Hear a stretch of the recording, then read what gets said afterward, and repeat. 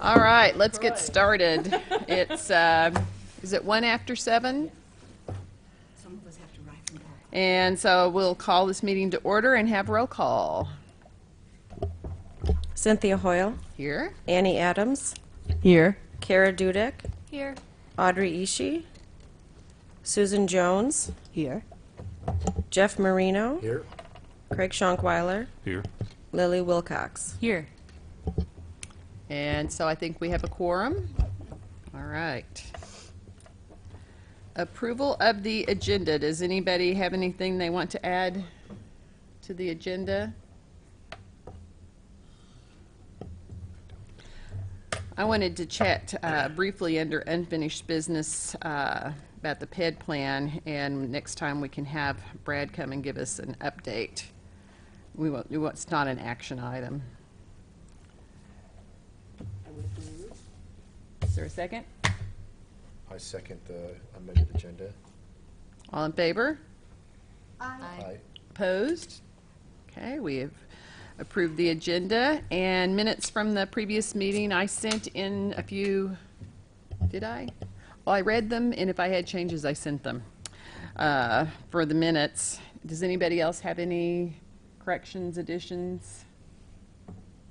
All right, so we have a motion to approve the minutes. I motion to approve the minutes. A second? I second. All in favor? Aye. Any opposed? Okay. Public input. Does anyone in the audience want to address the commission? Okay. That takes us to unfinished business, and tonight we have um, Councilmember Dennis Roberts here to give us an update on the Boneyard Creek Path, which we had a presentation on, was it last time? Yes. Yeah, pretty recently, actually. Yeah, this is just going to be, uh, well, first of all, hello. I always have to remember not to go right to work, but say hello first, right? So, hi. Um, so, uh, yeah, we did, I did visit with you last time, and Daryl Fosty and I talked to you about uh, our plan to um, partner with uh, other people in the organizations in the city to um, create the Boneyard Creek pathway from the western section from the downtown to the University of Illinois campus. And since that time, I think you were actually the very first group I came to talk to. And since that time, um, I've talked to several different groups, and I'm just going to tell you the results. Um, so uh, I went to the um, Champaign County Regional Planning Commission meeting, and they expressed a lot of interest in uh, this project because it also coincides with their their aims and goals. And um, Rita uh, Moro, Morocoima Black, who's on their staff, uh, actually indicated that because the city is a partner with uh, um, the CCRPC and also as a member of CUUATS, that the that they would be able to provide um, grant help in writing grants to actually achieve the goals of fundraising, looking for funds for the pathway. I thought that was really great. But they also stipulated that um, it would be better for them to interact directly with the city rather than to me as an alderman, which I could totally understand. So I went back and uh, talked to the city council, uh, put a resolution on the agenda, and it passed. And the resolution is number 2017-03-17, a resolution of support to plan and create a public greenway and bike and pedestrian multi-use pathway along the Boneyard Creek corridor from the University of Illinois campus to downtown Urbana. And that resolution passed. So I was able then to notify the uh, CCRPC that we can indeed work together in partnership. So the, uh, the resolution um, also included uh, a statement that we were, we were interested in partnering with many other organizations and agencies who would like to uh, partner with us in creating this, this plan. So it includes you, as an agency, and it includes several others. And as we collect them, it'll, I am thinking that uh, the, uh, the partnership will grow and grow. So I've gone then uh, to a meeting with the Urbana Parks District, um, to the director of the Parks District and one of their assistants, and they expressed uh, real interest in this as well. And they may invite us back in a couple months to present to the park board. Um, I've also reached out to the Urbana uh, Sustainability Advisory Commission, and Scott Tess and uh, the friends on that commission also agreed that that uh, uh, was something that they would like to partner in and to- to achieve. And um, they suggested that I try to contact uh, faculty at the U of I in the planning or the landscape architecture department. And uh, so, following that lead, um, I spoke by email with uh, Mary Pat McGuire, who's an instructor over there, and I also heard from, and she had she brought the the um, uh, the interest to create the pathway and to have student assistance and maybe doing some pre pre planning for that conceptual planning uh, to their faculty. And uh, I received a letter fr- from uh, Elen Deming, who's uh, uh, one of the major uh, professors at the department, saying that she thinks it would fit very well with her class schedule in the fall as a studio project for one of her classes. And she was going to wait until she found out um, what her assignments actually were before she took that farther. But I think I've taken this down the road quite a ways, actually, since I've talked to you. down the road. Uh, Dennis, one other thing I could mention is I know that uh, um, uh, graduate students in planning uh, look for a capstone project. And so that's another uh, option for student involvement in helping create a plan. So you may want to talk to the urban and regional planning program too. Oh yeah, you know what? Uh, that's one that I seem to always forget exists. So um, I don't know why. I'm not sure why, but us planners will remind you. yeah, thank you then. Your support is appreciated. So, um, so I'm pretty excited about it, and I'm going to be having uh, also um, a discussion very soon with uh, Lorrie Pearson of our own department here at the at the city. Um, she expressed a lot of interest in it, and she's suggesting that uh, she would like to bring in Marcus Ricci, who's uh, one of the planning members, of the staff members, in on that because he has a real interest in um, water ecology, as she said. So, um, the second aspect of this uh, project is that uh, Clark Bullard, who is the commissioner of the Boneyard Creek, um, and I have actually worked on a proposal to um, re-establish a true Boneyard Creek Commission. Right now, it's merely an administrative um, adjunct of the zoning department and zoning administrator, but the commission doesn't have any members and doesn't meet, and there's no public uh, interaction when these decisions about the creek are um, handled administratively, a lot of times uh, without um, public notice even. So uh, the, the decisions that are made in this group are really too significant because of their impact in the community for development along the creek to be um, done in that manner. So uh, I've prepared, uh, it's going to it's to be on the agenda on next Monday's meeting. Um, I believe to uh, uh, talk about that and possibly direct staff to initiate uh, the work that it'll take to recreate the commission. And um, Clark Bullard and I have actually drafted a five-page um, amendment to the uh, zoning ordinance as um, a jumpstart for that process. So um, I think all I'm going to tell you is that I just keep interested in this. Uh, I love your support. Um, I think it's an important goal for the community. Uh, it is uh, mentioned in the um, mayor and city council goals between 19, or no, yeah, 2015 and 17, and um, we just want to keep this uh, alive and prospering. Dennis, I'd like to add too that I brought this up to the campus master planning group, and they they expressed a lot of interest, and they're working that into their plans for the future of campus for the next 10 years. Well, you know, that's really, I really appreciate that because I actually attended their Wednesday um, show and tell.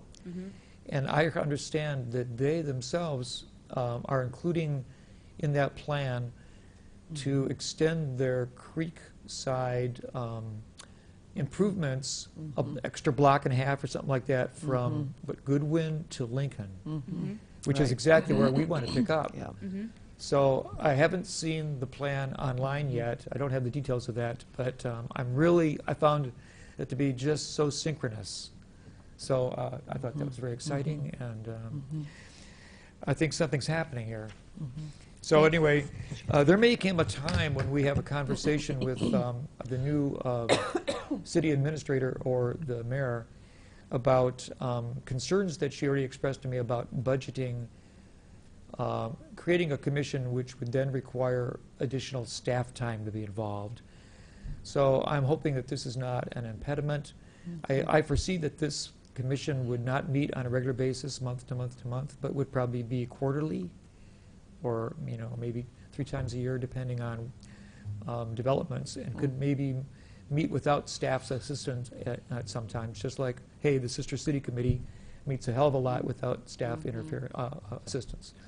So, um, Um, Dennis, I was going to say, these, uh, these pathways uh, have been put in, in in multiple cities throughout the world, if not the United States, if not as close as Chicago. Um, And the financial impact is phenomenal. Um, So, yeah, yeah, in a positive way, in sorry. a positive way. that way. Um, so uh, that would be my. Um, and, I mean, not just like see beyond financial. There's also obviously like peop not obviously, but people like living by the path. They like buying property by the path. They like being on the path. So, if not only just designing the path, but I'm not sure i- who. If there are people at the university, I'm assuming it could be the urban regional planning department or people who study like financial impact of paths like that that might help with your argument to the mm-hmm. mayor or to other people about looking into how, you know, how fast a path like this should get put in for, because I know, for example, in Chicago, they had been dragging their feet on what's the 606 for years, and Mayor Emanuel mm-hmm. came in, and then they partnered with, I could tell you the foundations they partnered with, but basically just came in and said, we got to get this done. And they just kind of, they re- just, they were like, this is just incredibly important to keep, to retain citizens of Chicago and just for the financial impact. So something like this, I mean, that, that's the kind of, pro- that's why we're all nodding our heads why this is such a good project, is 'cause this is all the stuff that we study, so. Well, if, if you bring uh, that expertise um, forward to help me, because I don't have so Okay. much of that depth in that area, I'm just a kind of a enthusiast. You have something, Jeff? Did Oh, Jeff? Jeff, yeah. Uh, Here's well, no, something. I just, um, when Annie mentioned the, uh, the economic benefit, I was just gonna mention, uh, Trails for Illinois is a not-for-profit organization.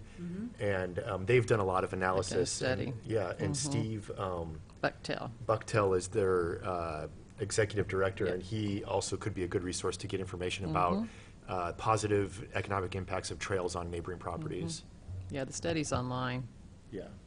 So Lily, Yeah. did you want to say something? Uh, as well as urban planning, there's, if you, just to answer what Annie was asking, you know, there are probably other groups. There's also uh, a tourism uh, academic unit, and there's also too a, a community health academic unit. Has Oh, yeah, that's right. bachelor's and master's programs. Yeah, and the community health aspect is sort of the new area that financial resources are coming for, for pedestrian and cycling infrastructure, because people are beginning to realize that it's, it makes people mentally and physically happier to have these sort of spaces, so. Right.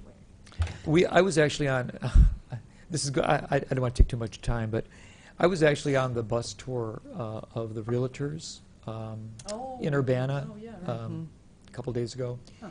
And uh, one, and I, I didn't get this guy's name, but one of the realtors turned to his uh, partner in the chair and he said, as they drove across the boneyard, um, which we, you know is on the Ray Street Bridge, which normally if you're in a, in a sedan car you don't really see down into the boneyard, but because the bus is up high, they looked into it and they said, "Wow, I didn't know that was there."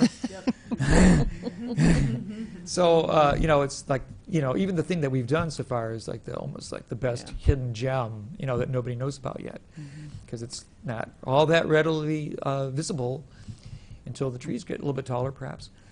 But more time and energy, and we'll come to all The, that. the one thing that I would ask is um, if you can uh, have a representative from BPAC uh, involved with your commission and to keep us actively engaged in that.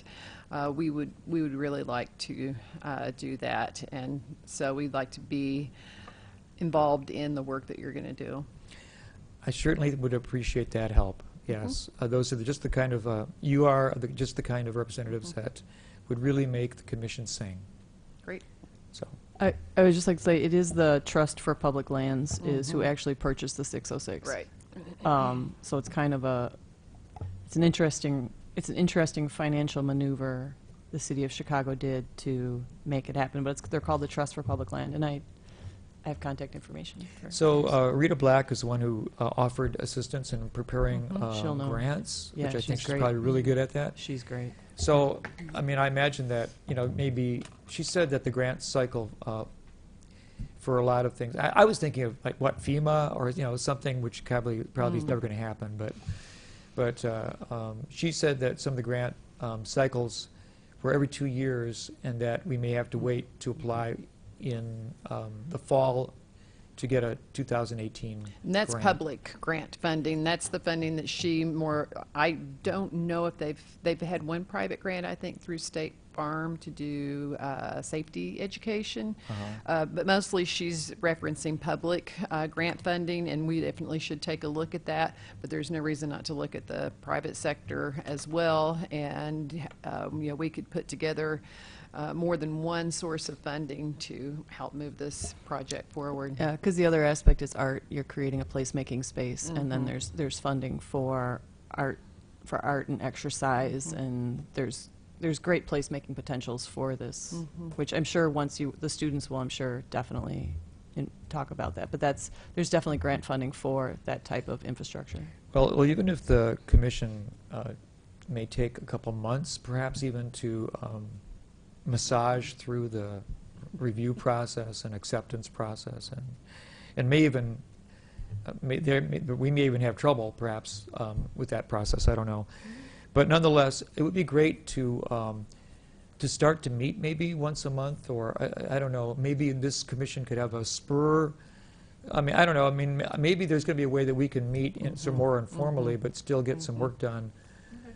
Uh, Because the city does back the- the process, because we have this resolution, and I think we could actually, I mean, if there's grant money that's going to be available, you know, in the fall, we probably should consider about, you know, preparing our packet of grant applications sooner than later, I don't know. Well, a working group is probably the route for meeting monthly, and that's not a commission, so it doesn't have to, you want the commission for taking action, and that's the body that the city, you know, needs to provide staffing for, but a, a working group can uh, get together and, and, for example, Light the Night, we have- have a working group that organizes that. Yeah. And so that has been the best way to approach that kind of activity. Well, I'll try to bring some people who want to do the same thing that you do, and uh, maybe we can sit around uh, a conference Yeah. table and really have fun. Yeah, that would be great. Well, thanks so much for coming and giving us an update. We're very excited by all the And- progress you and made and the time you Lastly, you know about this, I imagine, right? Do you- The, uh, yes, our pedestrian, which one do you have? The pedestrian plan? Yes, we're going to talk about that Okay, uh, a little bit uh, under announcements. We'll definitely talk about that. okay. Thanks so much. And I'm not going to stay for the rest of the meeting, but I'm really appreciate Well, thanks for coming. Thank you. All right. So next on the agenda is the uh, BPAC survey. And we have the survey put together, and we had talked about it in, in the past, and we had talked about using the city's uh, Survey Monkey um, account to do that and send it out. And so I wanted to check in with you about that and see if we can move forward with that and, and send it out. It'd be great to do it during Bike Month. Right. I, I looked into that, and a request ha- needs to be ma- made to the mayor to Okay. um, make this happen. Also checked with city attorney about the legality of posting it on the city website. Again, going through the mayor to do Okay. that. So there needs to be a request um, from the chair to the mayor. So we don't need to make a motion, we just need to make a request? Well, we might, it might be a good idea to make a motion. Okay, And all right. then, um, Okay. you know, about what you're asking for. Okay. And make sure the commission approves of that, so. Okay, all right.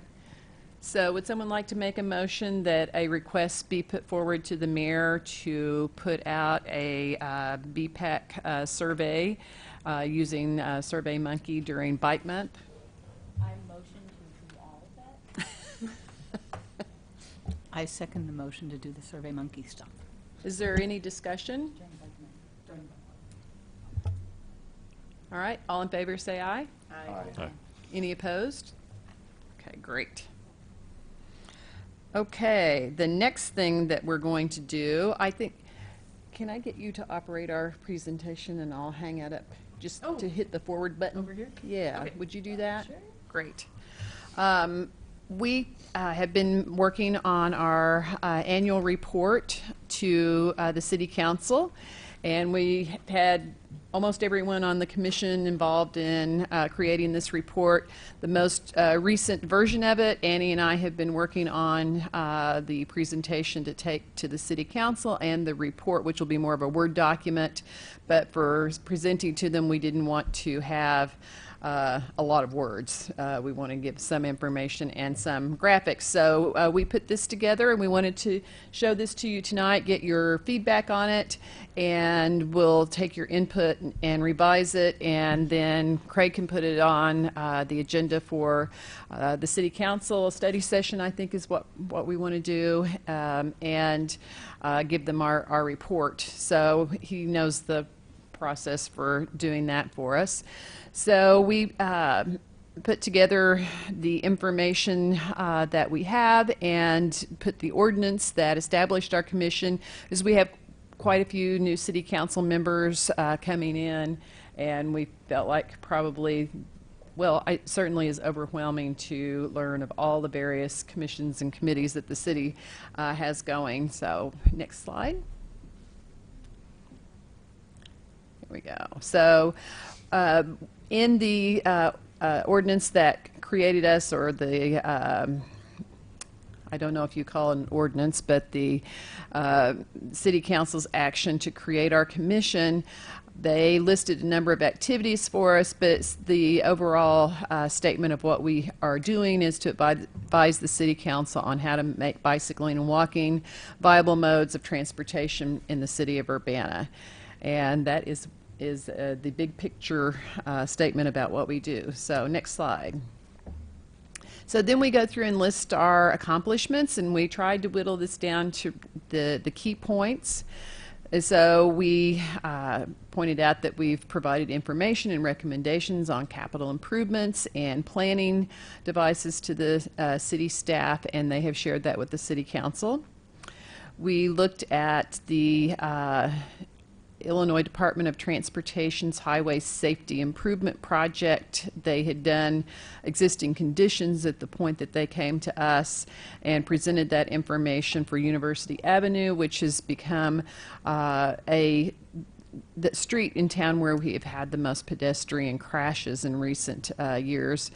And so we made some suggestions to them that uh, one of the things that they should look at is slowing vehicle speeds uh, as part of the recommendations for that study, and that we wanted to make sure that there was an opportunity for public input early in the process before it starts to seem to the public like it's already a, a, a done deal.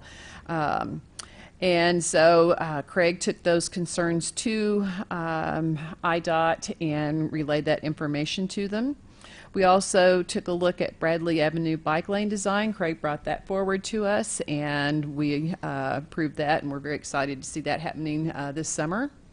Next slide.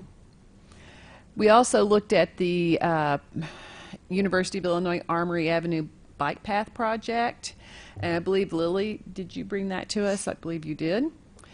And uh, we looked at the University of Illinois' presentations uh, regarding the North Cunningham uh, sidewalk project. And, well, I thought actually that was not you. That was North Cunningham is the city. I didn't catch that earlier. I'm sorry.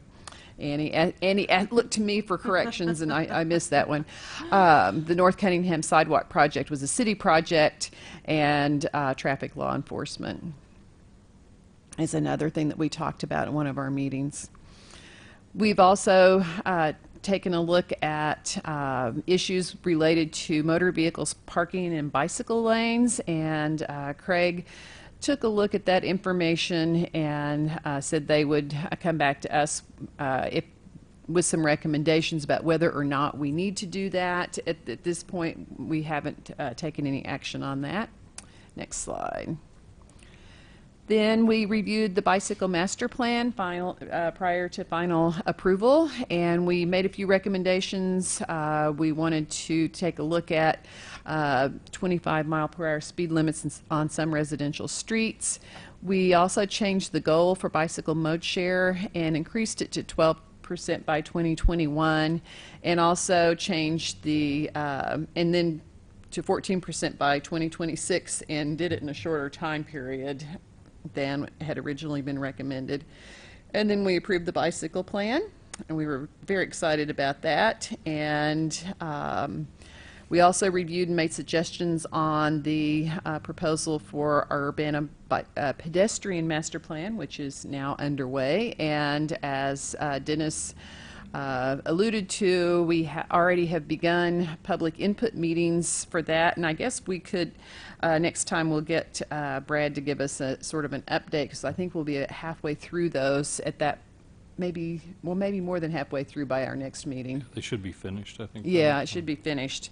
There are quite a number of those uh, going on in various neighborhoods and on various dates to get input uh, on the, uh, starting off on the uh, pedestrian plan. All right, next slide.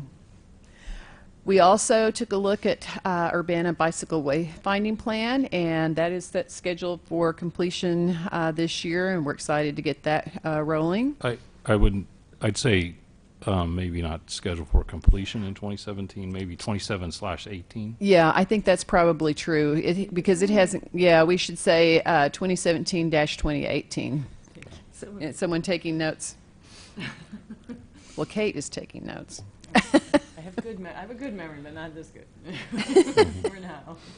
Yeah, all right. All right. We also looked at presentations on wayfinding infrastructure in terms of best practices and creative ma- uh, placemaking opportunities. And um, next week, uh, the wayfinding plan for Peoria is going to their city council. And once they've taken a look at that, I will pass that along uh, to everyone to take a look at. That'll be a nice opportunity for us to see an Illinois uh, city that uh, isn't too much bigger than us that has uh, moved forward with that.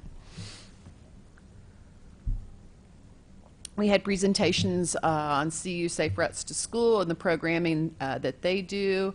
We also uh, looked at a new volunteer program that was created this year. Although it wasn't very needed this winter, we didn't have very much snow.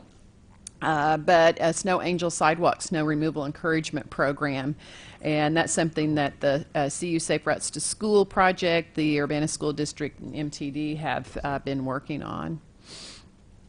We reviewed uh, the the CUUATS Sidewalk Network Inventory and Assessment. That was a very comprehensive study of all the sidewalks in the community, and that was the foundation for our being able to uh, start our pedestrian plan, which we really wanted to do for a while. We also looked at uh, some free community events, mostly open streets in this category. We looked at it, calling it a People on Pavement Community Celebration.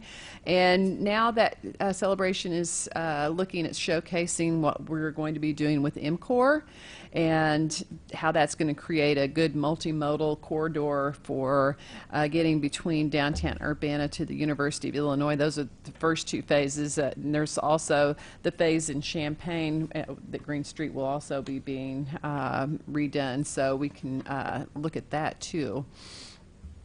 So you, the um, MCORE Phase One uh, has started, and um, Phase Two will start in January of 2019. It's a very big project. You can go down and see some of the activity going on uh, as we speak. We had a presentation on bicycle registration programs and a very interesting piece of information. I think the City Council will be interested in hearing this, that we had more than 700 bicycles recovered that were either stolen or abandoned, and that it costs a lot of money for us to release them for repurposing between $500 and $900. So we feel like perhaps a registration program would help us uh, address some of those issues. And we would like to see a centralized registration uh, program that would take coordination between the two cities and uh, the University of Illinois. We had a few uh, pieces of unfinished business, but considering how much we did, that's pretty good. Um, we decided uh, that we still need to take a look at whether or not we ought to have enforcement of motor vehicle parking and bicycle lanes. It doesn't, it hasn't risen to the top of our agenda in that we haven't had a lot of uh, public requests for it, but something we wanted to look at. And then the bicycle registration program, what we can, can do with that moving forward. We also talked about we wanted to increase uh, community engagement and try to be creative in how we uh, get input from the public.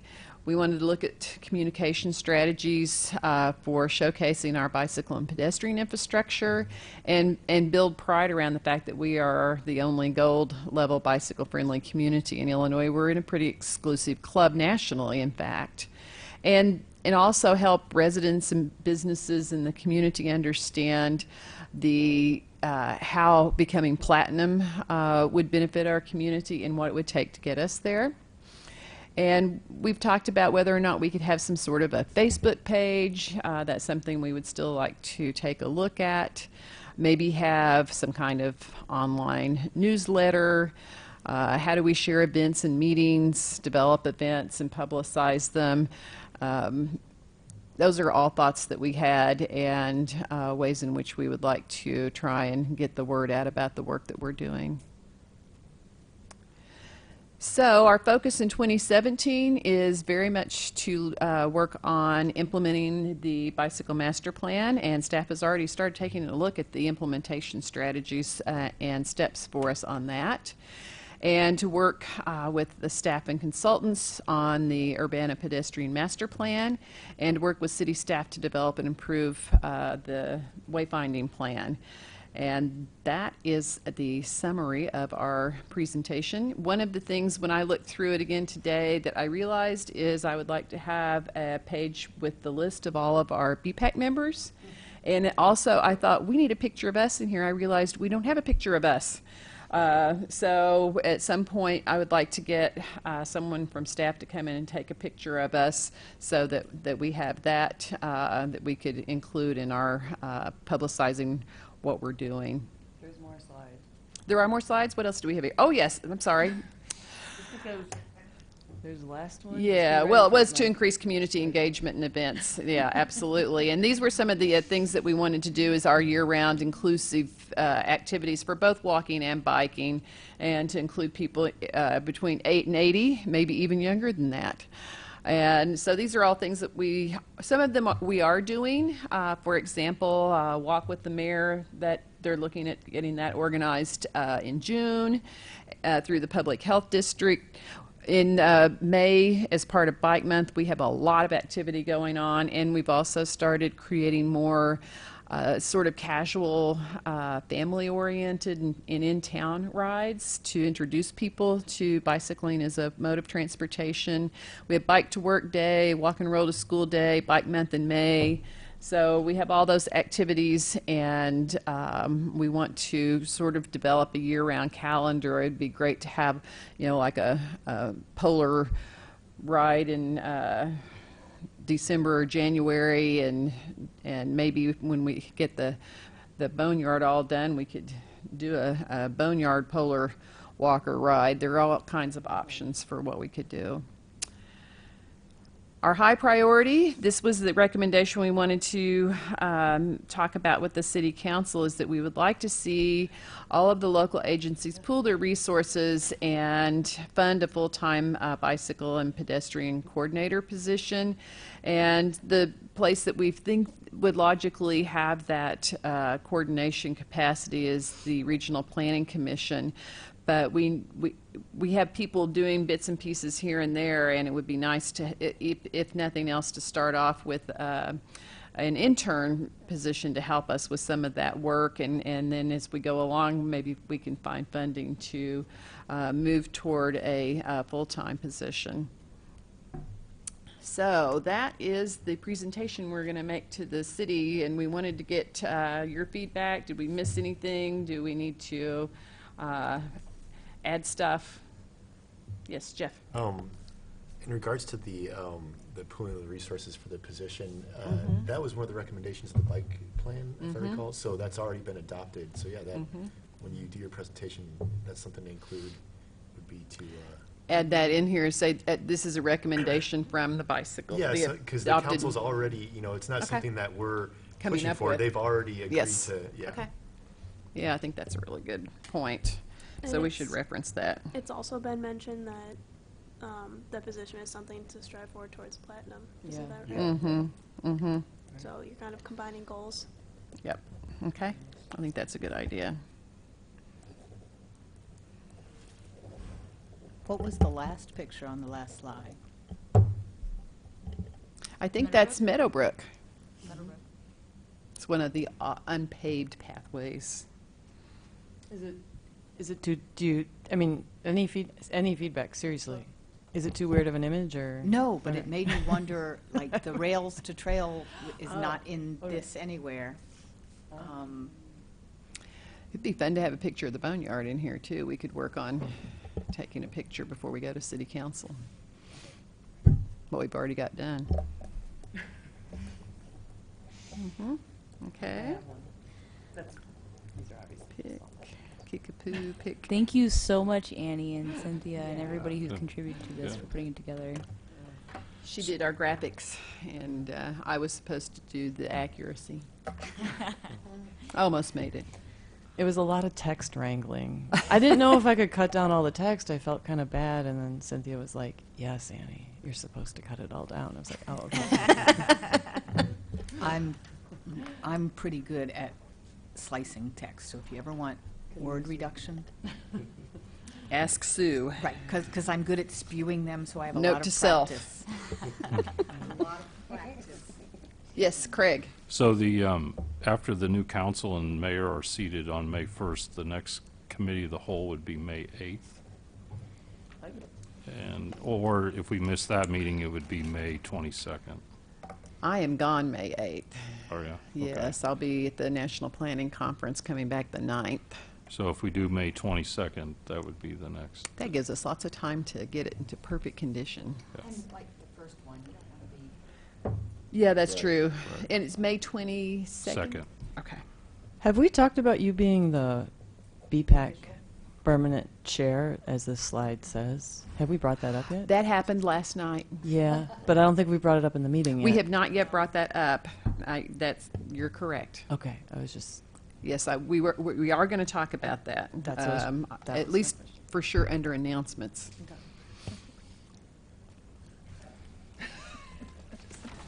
I just made up a title and gave it to her. Well, you can leave the permanent off. Right, that sounds. Chair Forever. for life. I don't know like how official all this language should be. I was like, I don't know. Yeah, well. Yeah, we can just say be Chair Bicycle and Pedestrian Advisory Commission. Yeah, yeah. And maybe on the last slide, what we should really do is list all the members of uh.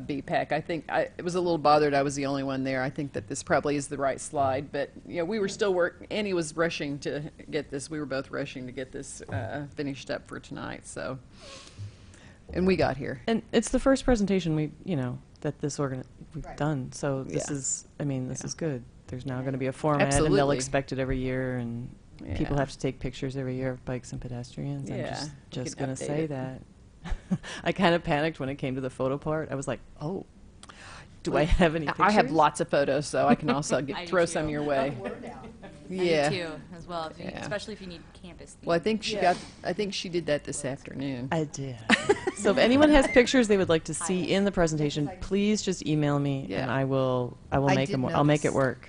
I did notice a kind of like the same. They all look the same. Yeah, from one s- one sort of similar event, which you can guess what that similar event was. Um, We did recognize the Really event, and great it is a event. barrel of fun. Yeah. And I think we should keep the fiery hula hoop in there. Yes. Myself. I thought that was great. Well, thank you very much. Thank you, Annie. We applaud your helping do this. Hooray. Good job. And then, uh, just, we wanted to, to request that uh, Brad come give us an update on the pedestrian plan. And I think one of the things I've been hearing from the, the commissioners is that uh, we would like to be more actively engaged uh, in, in the process. Um, and we've got a process laid out. So if we could get uh, a presentation on, on the timeline and some specifics about where where we can be involved in giving input, uh, seeing. You know, I, for example, I would love to see uh, the results of the existing conditions analysis and the and the public input, and uh, that sort of thing, so that uh, we can, we can do that as we go along and, and be actively involved in, in it. So that was why I wanted to ask about it. Yes. So um, with this particular master plan, there is not a steering committee. Actually, BPAC will serve as a de facto steering committee. So, so far, it's been internally staff and RPC meeting. Um, RPC's done some background, existing conditions, things like that, and then they were gathering the data now from these PED master plan meetings, which there's, I think, um, eight of them total. And then after that, the plan would be that um, staff would then present um, some of those findings Okay, great. and come to it. so. Super. And Okay. Brad is actually, he's on vacation today. Yeah, He's I knew At that. the end of the day, so he'll be back, so. Okay. Anybody have anything else on that? All right. Oh, wait, did you just talk about the pedestrian? uh, just I shared on Facebook the when the meetings were, and I tried to hit. Is, is this what we're talking about? Yeah, and I tried to hit people up and different. I tried to hit like different council members up and different people up. So just to make sure that like people feel welcome and that they can come and that we want their feedback and and Cynthia made a good point. Someone had had some information that they wanted to share and. Cynthia on Facebook just replied, "Please come to the meeting and Yes, they were giving share us their this." input on a Facebook page that wasn't anything to do with the city. I said, But you really need to come and give your But input. that's but people don't know that. They I don't know mean, seriously, that. people don't know They that. really so don't. yeah, so I thought Yeah. it, that was really good feedback that you were like, hey, just please try to come to one of these meetings. So Or go to the website and give input. yeah, so and that was like, and there's a lot of like neighborhood block Mm-hmm. s- things. So just that was just you know, if you know people who are who have mentioned things to you, just tag them and let them know to come. Yeah, and if they can't come to a meeting, they, they can go to the website and they can send an email. And uh, one thing that um, is really good at in their public input process is every piece of input is recorded and included somewhere. So people, their input is a public document after that. Uh, it's a part of the public document. And I amazingly had trouble figuring out which meeting I can get to, but I'm, I'm going to get to, uh, to one of them. And all of us should try and make sure we get to at least one of the meetings. Um, I think that's really important that, that we be involved. The, the meeting schedule went out through the neighborhood listservs, and so that uh, generates a lot of uh, eyes on the schedule. If there are any other organizations, groups, et cetera, that you are aware of, absolutely send it to them. I would encourage that members of BPAC go to two of the meetings, and uh, one of them that you pick, and the other one is going to be at Krannert Uncorked, April 27th. It's going to be a lot of fun. We should all be here.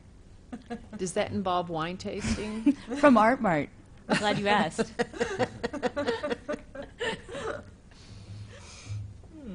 May- Maybe we should take a moment and just publicly, Say what the meetings are? Yeah. Will you, read- will you read through them for yeah, us? I'll- I'll- so there was a, there was a meeting held Thursday, April 13th for the north and northeast uh, Urbana area. That was at the uh, Urbana Park District building. There was one held um, this evening, um, Tuesday, April 18th. It was for the East Urbana area, and that was held at Brookens Center. There's an upcoming meeting on Thursday, April 20th, which is for the Crystal Lake slash King Park area. That is at Crystal Lake Park Lake House, 206 West Park Street. There is one on Tuesday, April 25th, and that's for the west and downtown Urbana area. That's at Pizza M Back Room downtown. There's one um, Thursday, April 27th, um, at the University District um, area. That would be at Krannert, um, the Uncorked um, on Cran- in Krannert. Tuesday, May 20, or May 2nd, Tuesday, May 2nd, south and southeast Urbana um, area, which is at the Yankee Ridge School Gym. Thursday, May 4th, the central Urbana, which includes the historic east and middle area. That's at the Urbana City Building Council Chambers. And then the last one is Saturday, May 6th, and that's a citywide um, meeting, and it's at the Market of, the Market at the Square. These um, meetings are also posted on the city website, along with a corresponding map, which um, syncs up with each meeting location. But anyone can go to any one of the meetings. Yes. They do not have to live in the area in which the meeting is being held, but they tried to uh, distribute them geographically so that everybody had something that was close to them. So at each meeting, uh, the the uh, consultant regional plan commission gives a um, short presentation. It's really a good chance for the public to provide their input. Maybe there's facilities lacking, maybe there's problem areas. That's a, a great opportunity for the public to come out and uh, state their case. Okay. And you get to do a mapping exercise with yarn and tacks and scissors. That's fun. So it's kind of like a craft crawl. It is. I see. Okay. All right. So I think now, if there's no more unfinished business, we'll move to new business. Okay. Under new business, we had a request to talk about downtown bicycle parking. Uh, Annie Adams requested that we do this one. And so we wanted to uh, hear from you about issues with downtown bicycle parking. I know we have two, two items I know that um, we have a count of how many racks that we have in downtown. And one of the things that I was thinking is that maybe BPAC could coordinate a usage count at some point. I think that we do not know how much the bicycle parking is used. It's sort of like doing a parking study when you really don't know how much people are using your parking. Uh, to take a look at that. And um, also, I think we're aware that there are some business owners in the downtown area who would like to have, uh, like the city of Portland has a program where you can convert a parking space into a corral, bike parking corral. And we have one of those uh, downtown now, but I think there are additional people who would like to have them, but there's not, we don't have really a process for doing that, I don't think, and maybe staff can sort of fill us in on that. But I know myself, one of the things I have found uh, is that the parking on the south side of s- the street in front of businesses like Flying Machine and Pizza M and the Thai restaurant and Dancing Dog are always full. And uh, I once in a while get a spot on a rack, but I oftentimes end up uh, fastening my bike to a parking meter. And no, no one's going to go park their bike across the street and cross the street uh, because that's one of the advantages of riding your bike is that you ride to your destination. And so there's more parking on the north side, and that parking doesn't seem to be utilized as well. But I'd, I'd like to confirm our sort of anecdotal uh, impressions about bike parking with a, a count, and maybe we could talk about how to do that and, and drum up some uh, volunteers uh, to do that. Lily has done this on campus, so we might uh, engage her experience in uh, doing that and engage uh, Champaign County Bikes and some other groups uh, in helping us with that. So, Annie. Yeah, I would regarding the how we would do it. My question, my concern is, is we have the really nice on-street bike parking, and that last picture in the slide, um, I actually did on, on the program. I actually put on an Instagram page, And I got feedback from honestly around the world of people being like, "This is so cool! I wish my city did this. This is really exciting." Um, and the only concern I have with where the on-street bike parking is now is it oftentimes looks empty. Now, I don't go out. I'm, I'm normally, I'm just, it might be it's full and maybe like once Blackbird opens, it'll be more often full, but I just really see a need for the on-street bike parking more over by uh, the Flying Machine, the Pizza M, possibly in front of the Cohen Building. And I do know someone from the city did go and talk to businesses and ask them about if, you know, what they would think about the on-street bike parking. And I know one business owner told me, she said, I don't like the color blue, and I thought it was kind of an obnoxious looking object. So that kind of made me sad. Um, but she, you know, she has an opinion and she has every right to share it. Um, so I also just get sad though when I see a wonderful thing like we have not being used when we really have a need downtown for it. Um, so that is kind of my, and I would have no idea how we would count bikes over like a, because it's 24 hour, because like, you know, at night, because I know there are, and I also have talked to other business owners who said, well, that rack is always empty. And I'm like, well, your business actually closes at five. Yeah, like you might not know that was, you know, like, and I know for like there are. I took a pic the, in the presentation. There is a picture of the rack completely jammed up uh, because they actually moved it from its current location and put it in a different location. Um, so I, I just that's my downtown bike parking question.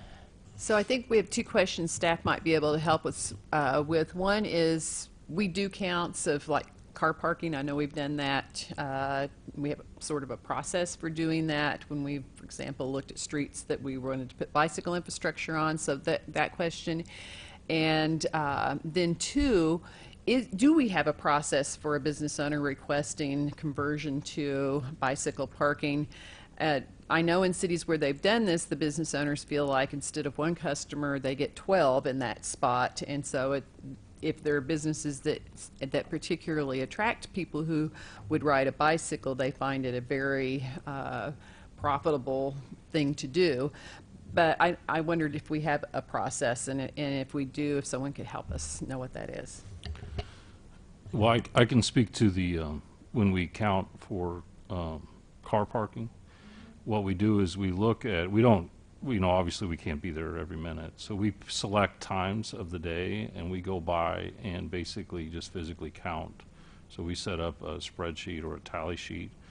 And um, a lot of times what we're looking for is a little bit different than what you're looking for at this study. But when we're looking, we're looking for use. We're trying to figure out if it's perhaps residents that are using it or commuters using it, because that does make a difference. If um, somebody is using it as a residence, then you know that that demand is usually fairly high, whereas a commuter may come in, park, and then walk. Um, When I say commuter, a lot of times it's students maybe walking and trying to avoid paying some type of fee on campus.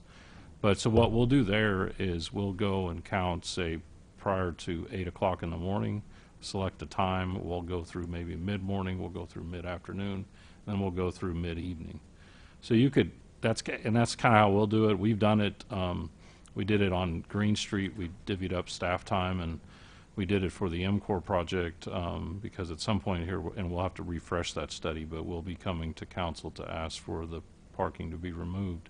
We did it for a, a seven-day period, so we actually did Sunday through, all the way through Sunday. So, um, that way we could see use on the weekend and then on the, in the weekday. But it, you know, in this case here, if you know what you're looking for, it just, it's one pass through. It doesn't take that long. It's just getting somebody to come out. Maybe, you know, if I was structuring something like this, you'd want to have something maybe mid-morning, mid-afternoon, mid, um, mid-evening, something after five to see, you know, are people using it then? You'd probably want to see if there's a difference on the weekend. Maybe there's a hot time, um, you know, and, and, um, obviously I think prior to eight, um, or seven in the morning, I would doubt that there would be much use, um, at that point. But, um, you're, you know, if you're looking at it, it's whether or not people are coming during the day and in the evening. to second that too, if you're looking at a, a where question, um, I have a lot of experience with the, the campus one, and it's it's vast. It's a vast census for sure.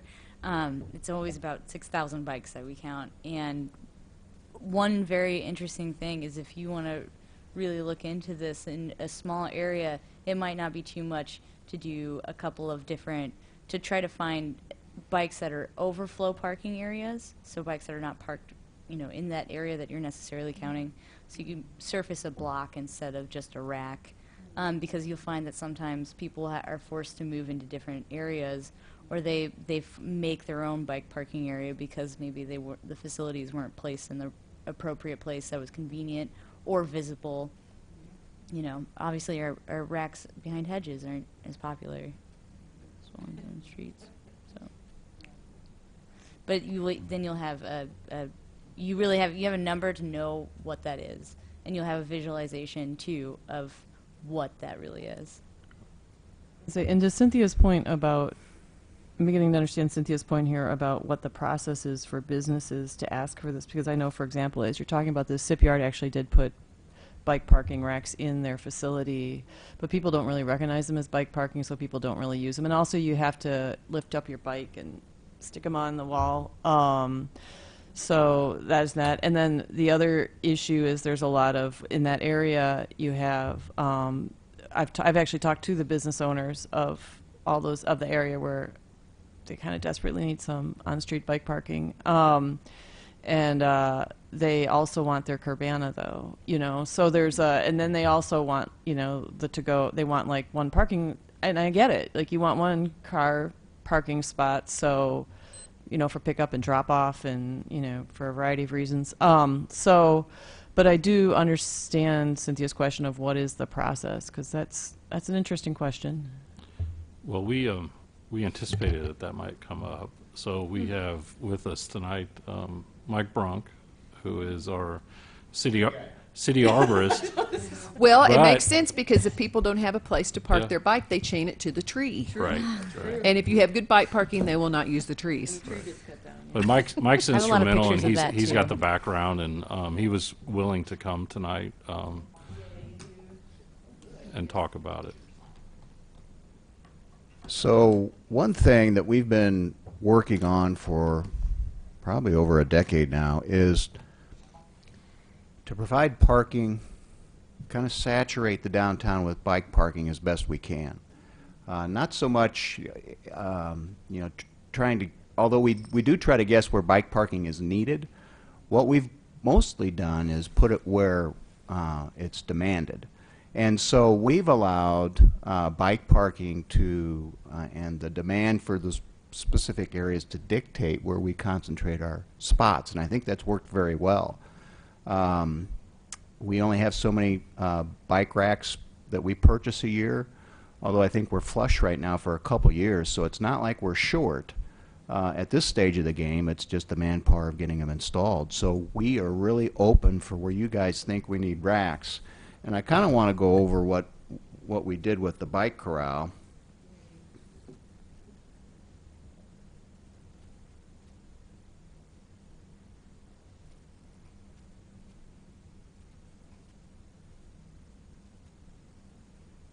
So back in 2015, I think some of you were on the BPAC then. Uh, we talked. Kevin and I came. We talked about our bike parking, and uh, one of the things that we presented to you was a new uh, system, which was the bike corral or the cycle stall.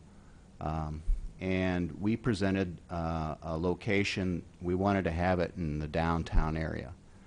Well, the the difficulty as I found, going, trying to find a, s- the space in the downtown areas, we are um, catering, as Annie said, to a number of factors.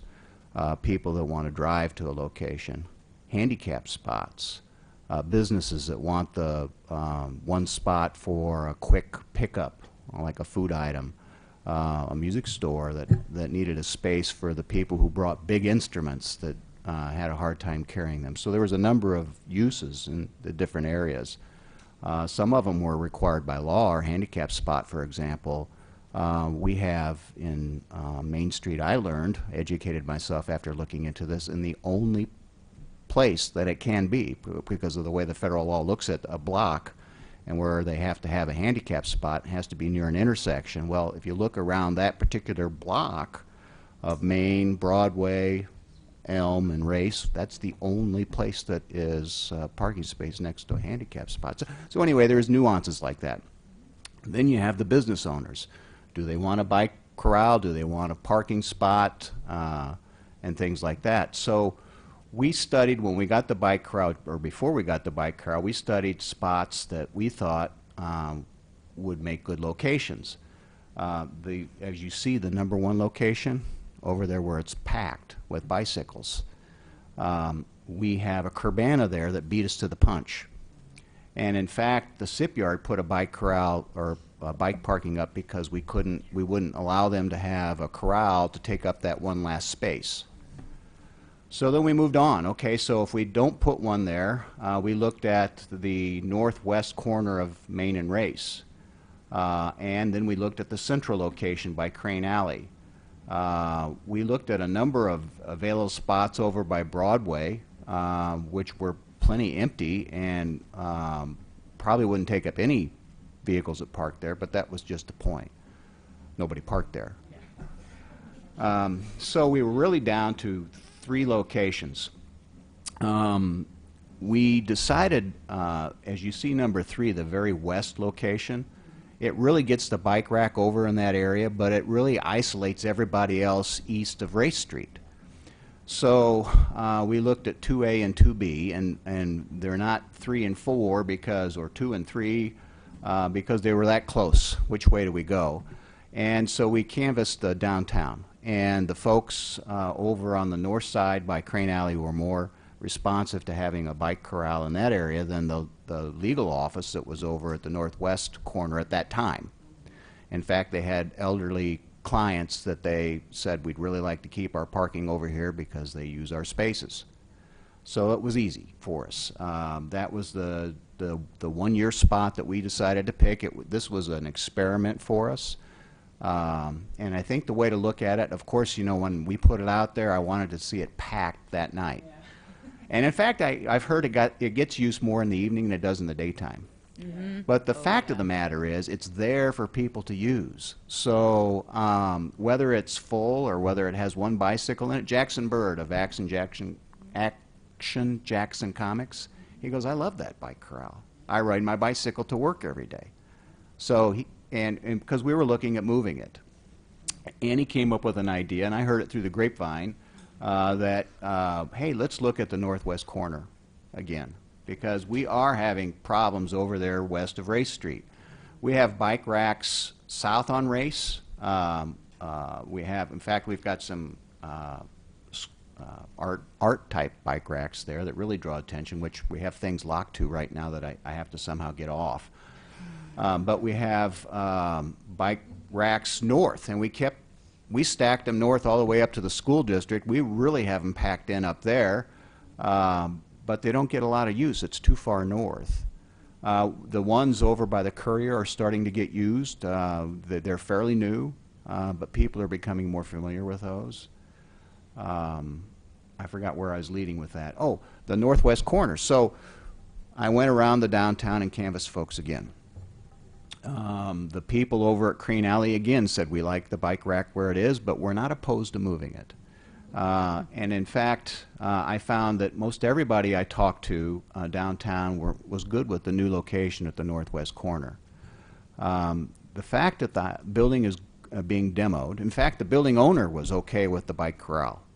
Uh, although I believe with a restaurant uh, bar type uh, establishment, it sounds like that's going in there. They they may want a Curbana at some point. I don't know. Uh, but this is a one-year endeavor. Each year we put the bike corral out. It's movable. That's the beauty of it.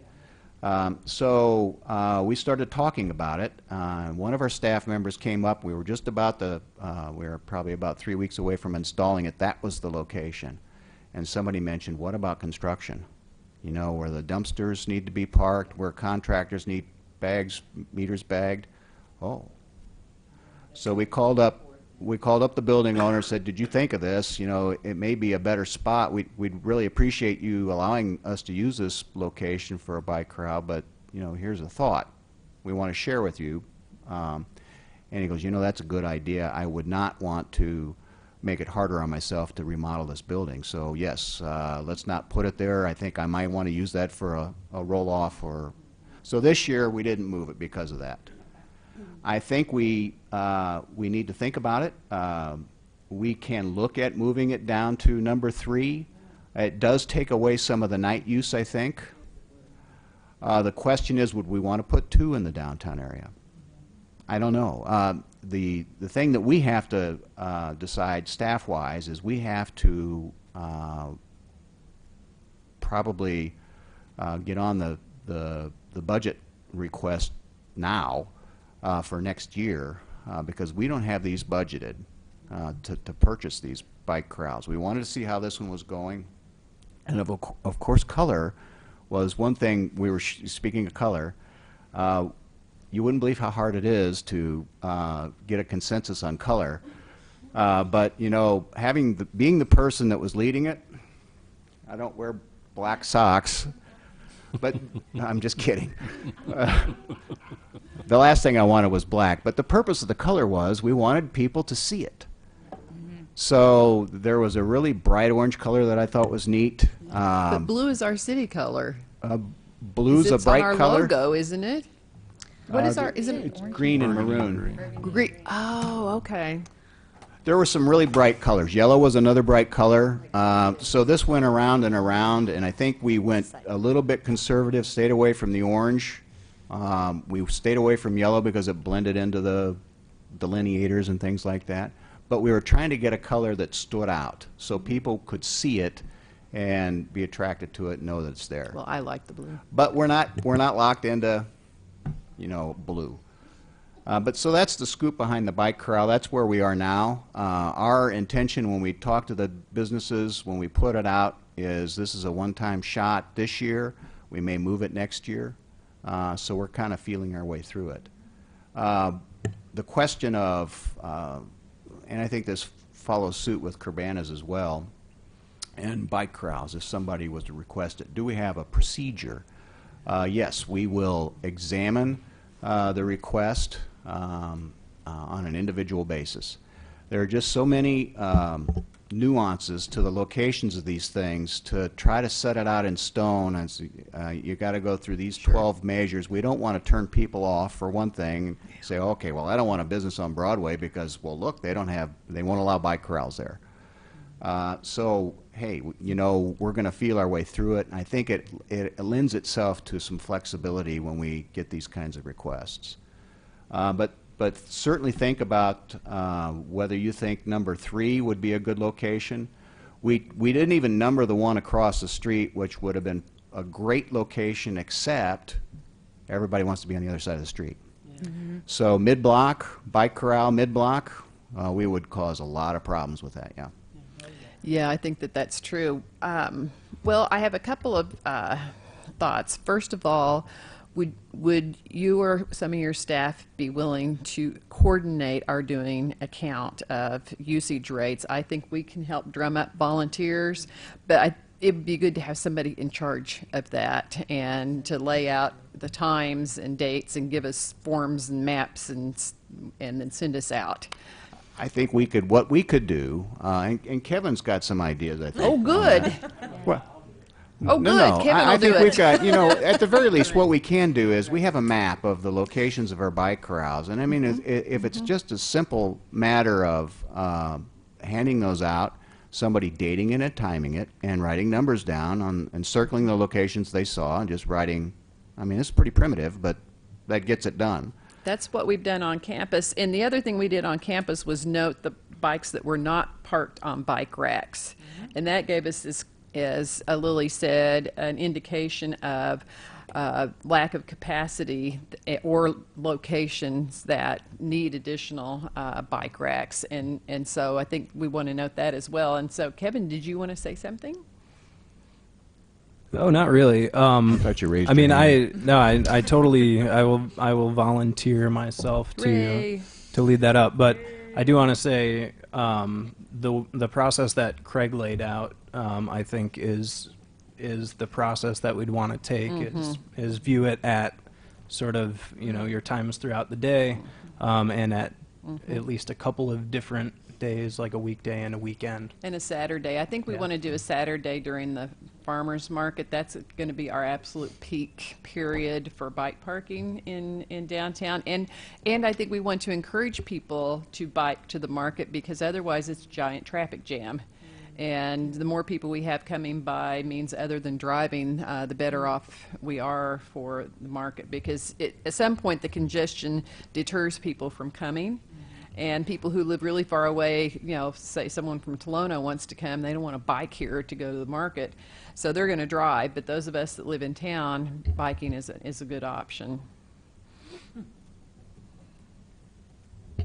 I'll leave it at this. Right now, the only locations that we have to install bike racks on my to-do list is around the um, west side of Lincoln Square and the north side of Lincoln Square. I think Can- there's some So- room along here. Uh, well, you can't see where I'm pointing. Um, You're saying number three. over by uh, the Thai restaurant. I I, think there's some space there for a couple of more racks in between meters.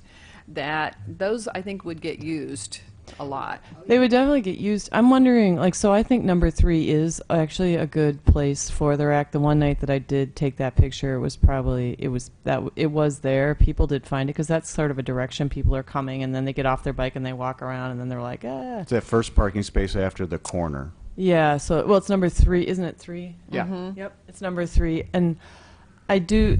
It is it.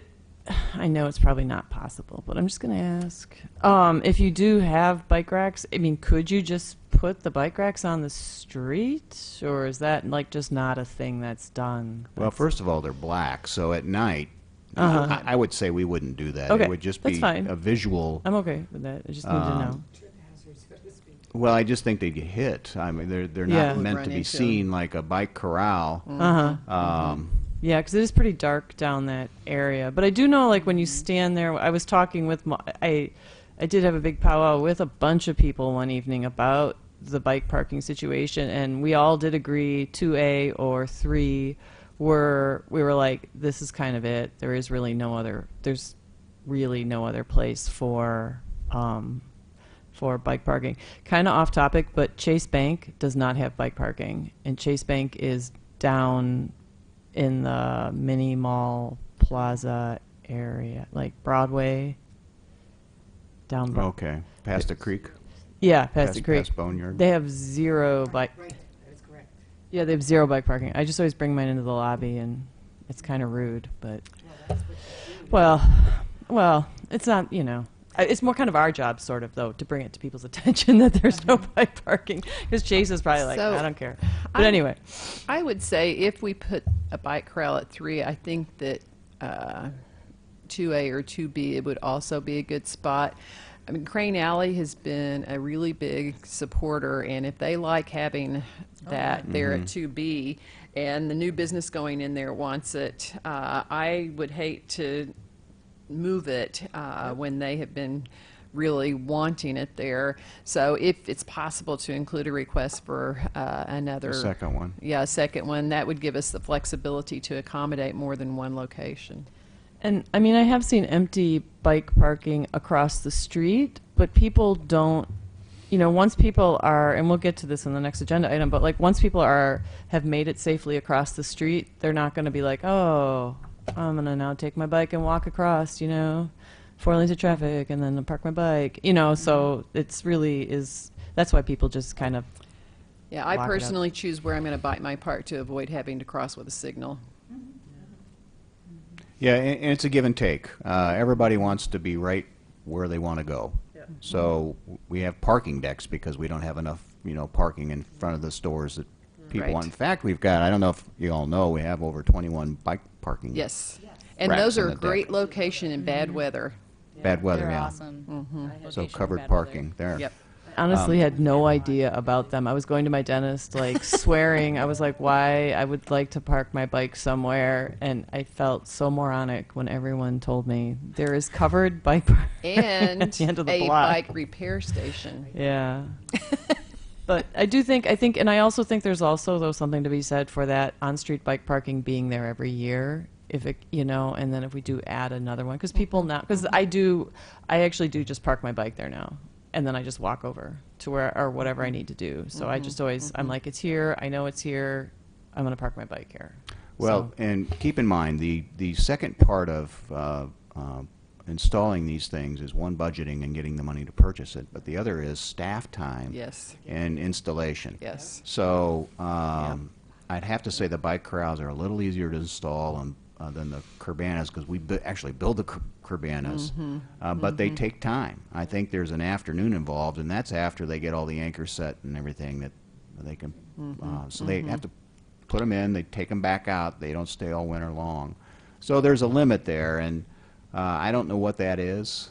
Uh, It's just, I just throw it out there that it. Well, um, I, I would like to say in terms of permanent conversion to a bike corral, what a lot of communities do to avoid the problem that you were talking about is they uh, use the flexible bollards to delineate the bike parking area. There are a variety of other methods that they use that make it very visible and that are not uh, that expensive. So if we wanted to look at it, I personally think that uh, we need to have a little firmer grasp of where we would want that before we suggested anything like a permanent conversion, because Sure. I wouldn't want to do that and not have it be uh, well utilized. But there's some options that might be lower cost. The issue then, of course, will be that, that there's a little extra uh, maintenance that is involved. uh, For snow removal. Right, yeah. Other comments? I would be very much into it being out all year long. It's so easy to park your bike to that thing and not have to like lift your bike up and try to fit it on one of the. I really, I really like the design of it. I like it's just so easy to use and it's just so nice because you aren't supposed to have your bikes on the sidewalk. You're actually supposed to have your bike in the street. Well, that, that, So- that particular one, i- i- you know, we flipped that around. It's designed uh, for the protective bar to go on the street side. Um, But with our system, with a bike uh, path right there, that was prohibitive. Now, when we put it over on number three, we may turn that around so people access it from the sidewalk. I'm not sure. I believe it was in Normal, they had one installed that way, and um, someone very helpfully went down one night and turned it around for them. So guerrilla tactics are sometimes employed. uh, But becau- yeah, I think originally the idea was people backing out into traffic. Uh, we've got that safe zone We've because got of a our nice bike lane. bike, bike lane. Yes. Uh, Yeah. but that was the concern of, uh, of people being in the street, stationary, Mm-hmm. uh, and then getting hit. Um, but, you know, we're flexible. We think different here in Urbana. It's easier to get them in and out with the opening onto the street with our, our, Yeah. our street design. Yeah. Kevin, you had something? Oh, I just wanted to, to point out, and Mike mentioned that we did the um, the inventory of all of our bike parking downtown, and, and there is that interactive map online that we Yes. have of all of that. Yes. There is a map all of of the bike parking racks downtown downtown. online. So I can share that link with everybody again, just as a Yeah, I refresher. think that's a good idea. Okay. And it might be a good refresher this spring and summer for people to mm-hmm. encourage when you come downtown. There, you know, mm-hmm. there these are all the places you can can park your park. bike if you can't find parking at these other places. And does the map note the bike repair station? It does not. We should put that on there. I'll see what I can do. Okay. I think that, I, I think a lot of people aren't aware of it. And I'm assuming that we have a system also for notification when the bike pump quits working. I know that's been an ongoing issue. Maybe someone could check that. Is, uh, nothing's more exasperating than to go pump up your tire and have it let all of the air out of your tire. Which I have gotten calls, uh, about that. Uh, so at one point, we did have a sticker on it with a phone number for people to call, but I haven't checked that recently. If not, they can call Public Works, and we'll check it out. Okay. One last thing I'll mention, I don't know if I mentioned this last time, but our new racks uh, that we're using have a, um, um, oh, shoot. Q, Q, thank you, QR code. And so that uh, takes you to a website that provides the do's and don'ts of bike parking. So it's, it's neat. I, I like those bike racks because I don't have to worry about my bike getting knocked over. That was the purpose of them. It, it keeps them from falling into the sidewalk. Uh, the U racks uh, very uh, usable, Uh, but a lot of, a lot of times bikes can fall over on those and then they're blocking something. Yeah. Well, thank you very much for filling us in on process. I think that was very helpful. It's nice to know that we have one and that we're flexible, and um, we'll, we'll look forward to uh, doing a a count of our bike parking. So thanks so much for coming. Anything else on downtown bike parking? Okay. So next, we, uh, Craig's going to give us a little um, information on the pedestrian timing at downtown uh, signals, particularly Race in Main and Broadway in Main. I, I know we used to have uh, automatic, um, the signals would automatically come on, and when we redid that and put new signals in, that changed. And um, I know from my own experience that because of the way the intersection uh, timing is set up right now, uh, it's very frustrating if you have to cross more than one direction. uh, The amount of time that you wait, and particularly if there are no cars coming. Um, so we wanted to get some more information about uh, how that signal timing is set and if there's anything we can do to uh, improve it because pedestrians are the primary people we want to be servicing down there for the businesses. We want to make it as easy as possible for people to get out of their cars and to shop at more than one destination in our downtown. And so ease of movement is a, is a high priority. So Craig, if you can give us a little information, that'd be great. Thank you. Um, So several years ago, um, prior to the road diet that went into effect, there were four lanes of traffic. Um, We, uh, the city received a um, ITEP grant to install bike lanes downtown. During that process, uh, we looked, obviously, to put the bike lanes in. The only way to do that was to remove a traffic lane.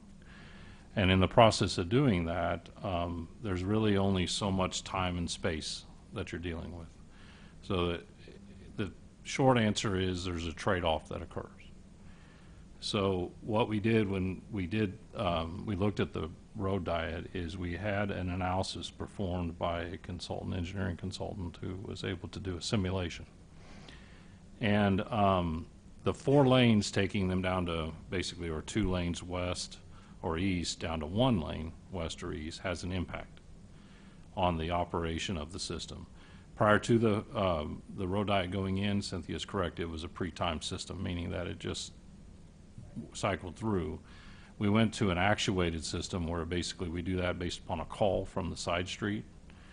And the idea is that traffic would keep moving east and west. Now, when we say that, the idea isn't, we're not talking about speeding through. What we're talking about is we're primarily concerned with the stacking of vehicles.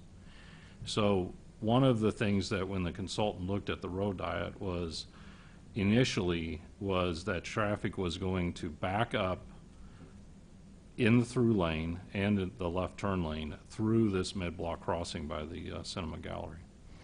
And when we would have traffic blocked for eastbound traffic and westbound traffic and they're crossing each other, that creates an unsafe crossing location mid-block. So one of the goals was, well, we had to clear that time. So that means you have to have greater time on the east-west movement than you do the north-south movements. And that's the heavy movement throughout the, the system here. Um, so it's an actuated system and it's coordinated to um, basically have east-west traffic through the rush hour periods, which is basically the two-hour period in the morning, which really is more like an hour, and then around four to six in the evening, which is more centered around five o'clock. Um, in response to Cynthia's inquiry, we went and double-checked to make sure everything was working. Our signal technician looked at it today, and everything's fine, everything's functioning fine. Um, he took some readings. I went down and took some readings as well. Uh, midday, I also went down at uh, five and took some readings. Um, the trade-off is that when you push the button from a side street, say at Race or Main, or Race or Broadway, you do have to wait. You have to wait for the walk light to come up. The signal cycle is about somewhere between an 80 and 95 second cycle. What we're getting is anywhere from 30 seconds to a minute and a half delay when you push the button. So that's the trade-off that we're, we're, we're holding here.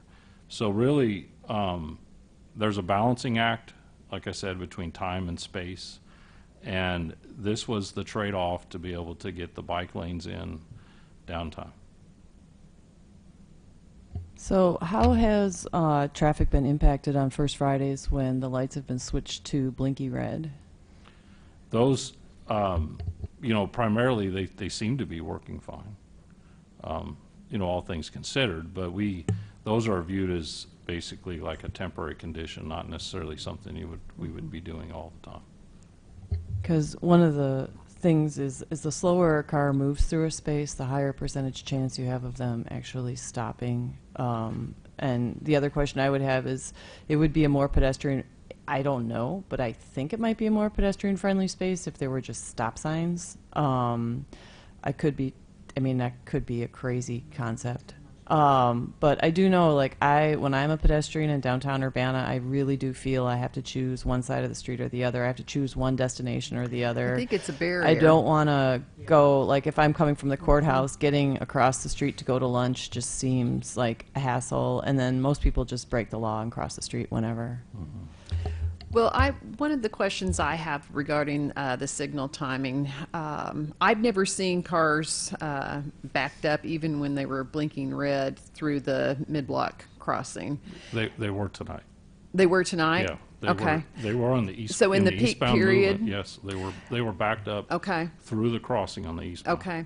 So I think what I it- what I'm hearing is that during those peak periods, we need to maintain the signal timing that we have. The correct. question that I have is during off-peak periods, if pedestrians can't get- be given priority, so that when the button is pushed, you get first priority. Because my frustration has been when I push that during off periods, and I had to stand there and wait for a left turn cycle, um, and sometimes a whole light cycle before I got through.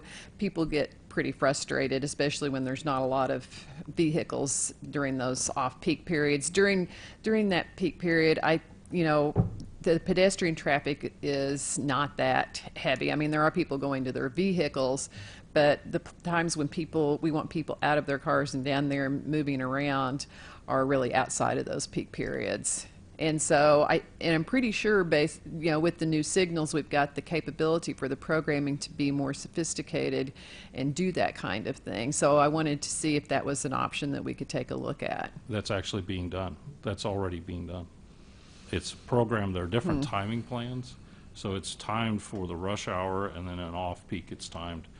Um, Even at 12:30 today, our technician found 30 seconds. That was the delay for the, for the pedestrian. So I guess I'm sorry, but 30 seconds is No, 30 acceptable. seconds is not a problem. I, I don't have a problem with that, and I've always been really happy if that's the amount of time I waited. Uh, what, what's been frustrating to me is when I've had to stand there through a cycle and a half, uh, the one full cycle one direction and a half on the one where I push the button, and so I'm there, you know, for two minutes before I get to cross one direction, uh, because I didn't get there to push it in time for the other direction, and so to do the two, you know a two leg turn.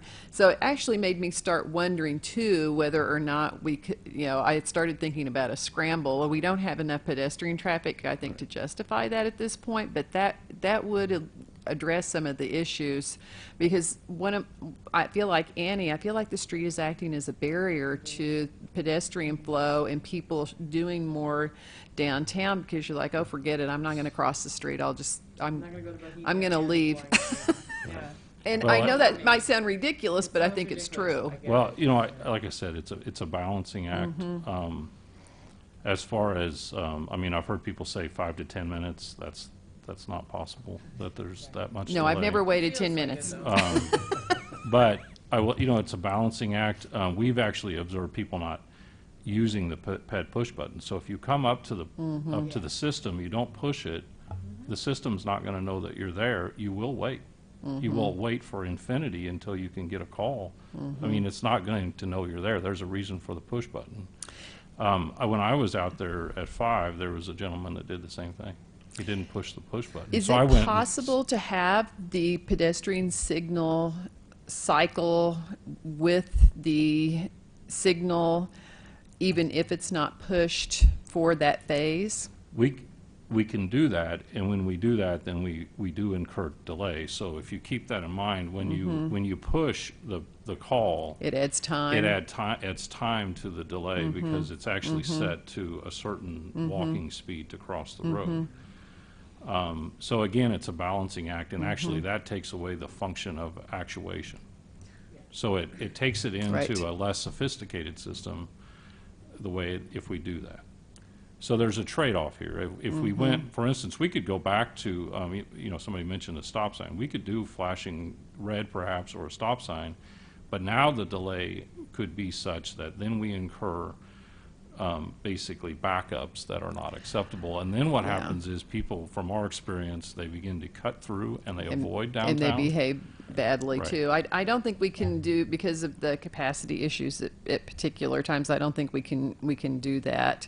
But I would like for us to see if we can give more priority uh, to pedestrians during the off-peak periods. And the best way for doing that is not, you know, clear to me at, at this point.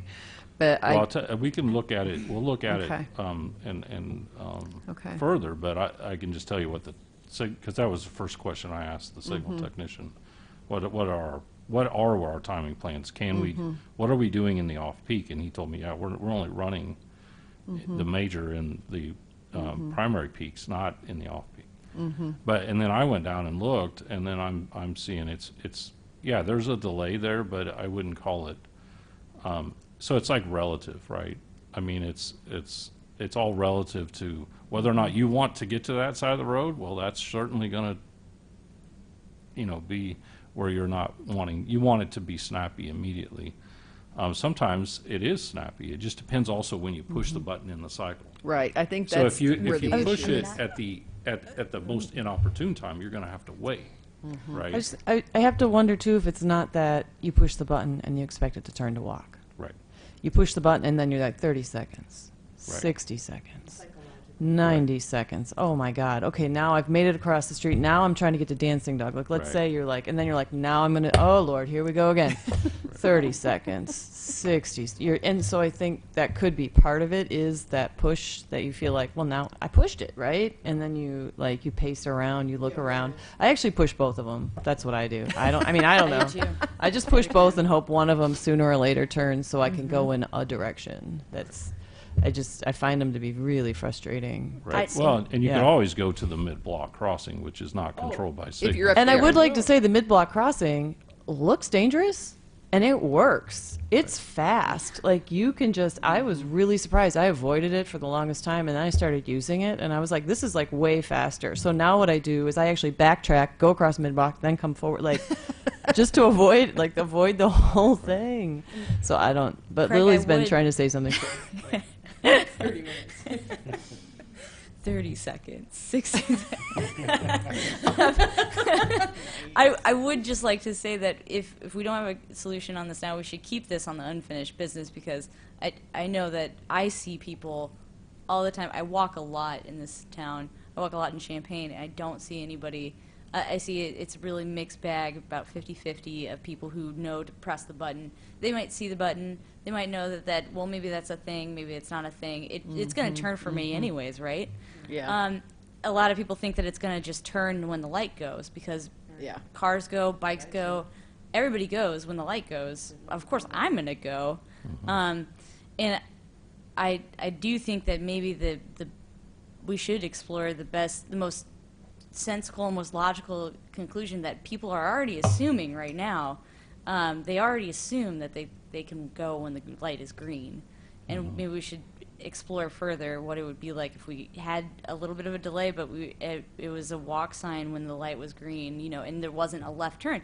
And then people wouldn't. Everybody's walking on these reds, and they don't. They're not looking at the cars that are trying to make a left, and they have a green arrow to make a left.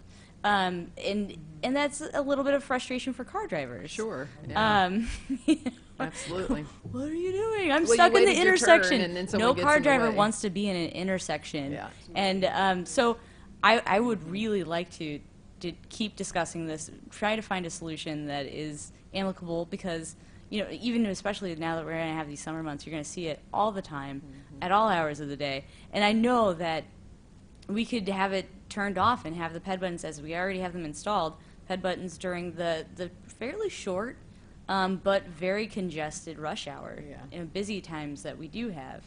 Um, in Yeah, maybe that'd be the an option. the the off times are very off, and so people just assume you know most a lot of towns in the state, a lot of towns in the country, they do that, and so that it's not it's not something that everybody knows to do. They just assume, why should I press that thing? It probably doesn't even work. I'm just gonna wait for the green light. Or you're just like talking, and then you're like, "Am I supposed to have pressed this stupid thing? What the heck?" Well, Yeah, in that- downtown Champaign, Totally. the buttons only activate the auditory part. They, the signals do come on automatically um, for pedestrians, and so I And think that's that just that's right another away. part of the confusion is that in some places they're coming on automatically, in other places they're not, And and, if so I you're- think it is confusing. If you're one of the the 80% of this town that thinks that Champaign and Urbana is just one big town blob, you know, how are you supposed to know? You're just talking to your friend walking down the street. We should look at a uniform situation here, and we should also look at what people are doing. I think a lot of our traffic signal controls are all trying to make it more convenient for people to do what they naturally want to do. Just make it safer and regulate it and make it sure that people are are safe. And right now, you know, if you if you require someone to press the button, only half of them are pressing the button. Most people are just standing there going like, "It's a green light. It's my turn to go." Obviously, right? um, you know, uh, we in plenty of places like Champaign, we say that, "Yeah, it's a green light. It's your turn to go." So this is Well, very uh, confusing. Yeah, and I understand that, but understand that if you do not push the button and you walk across the street, you, you run the risk of, I mean, that's at your Yeah, risk. absolutely. The buttons are there for a reason, and, and they're programmed, and, um, I mean, we can't control whether or not pedestrians do or do not use the button. Um, All I can tell you is they're provided for pedestrians to use. We can look and try to optimize the signal timing as much as we can, but again, there's only physically so much time, so much space. So it really gets down to, this is a consequence of a road diet. Mm-hmm. That's what it fundamentally is. I would say that if, in hindsight, the idea would be no road diet. I mean, that is the way that you get around this. You eliminate the road diet, and then you take it back to a pre-time system. I well, I would I would just just for devil's advocate's sake, I'm going to just say maybe we've made it in a situation due to the road diet. We've made it a situation where placemaking wise, it, people are comfortable in walking, and it's still kind of frustrating to walk because of our signal timing. Mm-hmm. So. The road diet is meaning that people want to be there. They want to be mm-hmm. walking. They want to be on foot, and they definitely want to talk to their friends. But the signaling is confusing because we don't have a uniform situation between the two cities. It's a downtown area. People expect that they should be able to walk on a green. I understand that, and I would also tell you that every single sig- signal within the city of Urbana is programmed differently. Yeah. That's true. That is Totally. true. No, it is, Totally. No, it is true, true. and that, and I think that's why, um, why the, That- the, that the if- issue is If we, confusing. we could have a uniform system and just do it pre-timed, but I can tell you, the city would be a lot different. Yeah. It really would. Be weird. Yeah. And So maybe there's, we there should are all consider these trade-offs that we have like mm-hmm. that we're trying to balance. Mm-hmm. And, and what we have here is what we feel at the present moment is the balancing act that is the best solution. We can certainly look into timings further and try to balance that out even further. But right now, they're running different timing plans. Yeah, I was wondering about Lily's suggestion that we have pedestrian demand activated during those peak periods, but have the automatic signal for peds during off-peak. And we'll look into that. And That might be one way, because I, I think most of the frustration is occurring during off-peak, when there aren't very many cars, and so you think, why am I standing here? When there are a bunch of cars, you're not going to wonder why you're standing there. You're going to be happy when the signal turns, because then you know you can cross safely. we can look into that. Okay, I Okay. think that might be an option that, that would uh, help out. And particularly during the, you know, after five, uh, I think that's when we tend to have a few more people down there. And I, I think that would, yeah, The- and, and we, we definitely uh, improved safety down there, and that's, of course, why we got the grant, was because uh, having one lane each direction is so much uh, safer. So we definitely want that, um, and we can see if we can work out a solution that'll make it work very better. predict predictable uh, situation of someone if they drive to downtown Urbana and they want to go someplace, they're going to park at the parking garage or they're going to park at Busey after six, and and they're going to Yep. cross the street to get to Sip Yard or Flying Machine, and it's they're going to just walk on this red because they didn't understand they had to push a button. So that's what that's the frustration on on my end is I'm, I'm worried that after 6 p.m. there's a lot more pedestrians out. It's not like the five o'clock traffic. Yeah. And understand, our goal is not to make it frustrated for anybody. Absolutely. Yeah, we know, Totally. yeah. We're not, we we're not understand sitting that. here, I'm yes, not. sir. Yeah, we understand. No, no, no, Yes, we sir. understand. totally no, we get it. understand We get it. Oh my goodness. It's, um, I was. I ju- mean, you know, it's, it's hard, you know, it, I guess what I'm just telling you is that we're trying to do the best that we have, that Sure. we can. We understand that. I was gonna say on First Fridays, I cannot tell you how many people are like, "Thank you, thank you, thank you, thank you." It's kind of crazy to me. At a certain point, I just said, "Well, this is the greatest art project I've ever created." Blinky red, um, and and people were. People, I, I can't tell you. People loved it. I mean, they were, they still, they're like, this is just so nice. I mean, there are more pedestrians than cars at that time, so it's, you know, if we're gonna talk about that, which is never a good, that's never a good metric to say, because there's more cars, you got to do it this way, or more people this way. But it does, it really works. Like it slows everything down. Like I remember the first time I biked downtown uh, for an event that, and, and it was like, I was like, why is every? Oh, I was driving. I was like, why is everyone driving so cautiously? And what is? And I was like, oh, blinky red. Like it slowed everything down. Like the whole ecosystem suddenly just became this like, and it was really, it was actually kind of nice. So.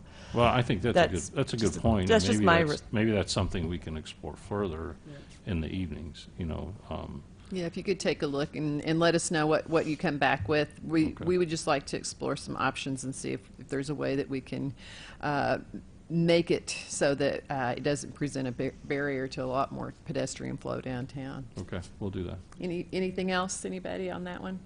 We've beaten that down into the ground. Okay, well, thank you, thank you for uh, presenting that and helping us understand uh, what our options are. Thank So- you, Craig. Yeah, we appreciate that. Thank Signal you. timing is always fun. I can tell you from having Thank done you, tra- transportation planning that uh, signal timing is always fun. And no one, a- and everyone's an expert. I think that's that's the other thing you discover uh, is that everyone is an expert. So, and we know we're not experts, but we, we would like to explore some options with you guys. So, under announcements, I, I uh, will say last night the City Council uh, made two appointments to BPAC. I am now the uh, chair until the end of June. I'm filling out the expired term. I saw that. So I'll, I'll be asking again, I guess, uh, to uh, be reappointed. And then we got a new commissioner, uh, Leo, and is, is it, it's Clovis, right? Covis. Clovis, Noel. I always confused and re- trying to remember that. I, yeah, I guess that's it. That's why I got that programmed into into my head. So, and so then we'll have a nice balance of uh, gender uh, orientation here, and um, we still need two people. We need someone from the school uh, district and an at large. Uh, please recruit uh, some people, encourage them to make applications. I did a little bit of that. Um, I don't know that, apparently I didn't succeed in getting people to apply, uh, but uh, we would like to have some more applications to fill those spots. And Kevin, did you have something? You were, you look like you were going to push the button. I, I do. Okay. Um, we've, um, since our staff relooked at the, um, terms for everybody, and we've posted that to the website. So now there's a, a PDF document that has everybody's terms in there. It's like a three-year cycle, so we're trying to, that, I think that when they created the commission, they didn't want everybody to be off at the same time.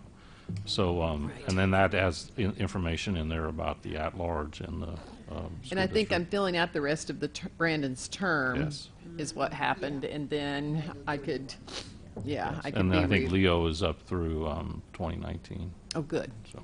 Yay. Treat him well and hang, hang on to him. Yeah, he was just um, officially appointed last night, so that's why he's, he was not notified today, because the packets all went out last week and everything, so. Well, we'll, we will make sure that he's notified here uh, for the May, May meeting. Thank you. Other announcements? Uh, tomorrow is the Chancellor bike ride at the Campus Bike Center, 9 a.m. It's a really good time to meet the Chancellor and go on a bike ride and witness our sometimes really great and sometimes not so great bicycle infrastructure with the Chancellor. It's really great. Um, there will be a uh, a limited amount of donuts, so get there early. Pump up your tires. Um, and uh, you know, bring loads of uh, cameras and such to take a selfie with the chancellor and a bike and a bike helmet, and um, and enjoy your morning if you choose to come. Where is the campus bike center exactly? Campus bikes. I'm glad you asked. It is um, not quite in Urbana or in Champaign, but it is at 608 East uh, Pennsylvania in Champaign, maybe. Uh, and um, it is a uh, right next to the intersections of Pennsylvania and Sixth Street. It's usually open Monday through Friday from two to six, except on Fridays they close a little bit early at 5:30. It's an absolutely fabulous educational resource in this community for learning more about bicycles, bicycle education, and bicycle repair, and a lot of the bicycle uh, groups that a lot of us are near and dear to our hearts, and we organize many events with. And it- the forecast says it will be 67 degrees, which is perfect bicycling temperature. I don't see the wind uh, speed. That might be another thing, but uh, we have good wind breaks in town, so. Uh, I'd like to announce on the first Friday in May, the uh, Urbana First Friday downtown. Um, uh, Imbibe Urbana is going to be hosting the Champaign Urbana Bike to Work Rally. Um, there will be live music, there will be beer, and there will be snail bike races uh, for the person who can ride the slowest. Um, there might also be, I'm trying. I would well, they'll be like slow, steady, um, and there might even be bracelets, uh, Lance Armstrong type bracelets that say "I bike to work." So we'll see. and then May, there's the free lunar cycle ride, which is um, Cynthia. Cynthia and I. Oh, Cynthia and I did one uh, week or two Last, last week? last week, um, and it was five miles, uh, and it was, didn't feel quite long enough. I think it's because the weather was nice. Uh, it was sort of strange to us. But when we were coming back, everyone's like, "We're done," and we're we're both like, "Yeah," because five seemed long last time. Um, so next time, what we're going to do is going to be ten miles. Uh, what we decided we think is going to be a better, maybe a better format for the bike ride will be to bike somewhere, get a drink or a cup of coffee, and then bike back. So we're going to be doing. Out, we're going to bike out to Riggs.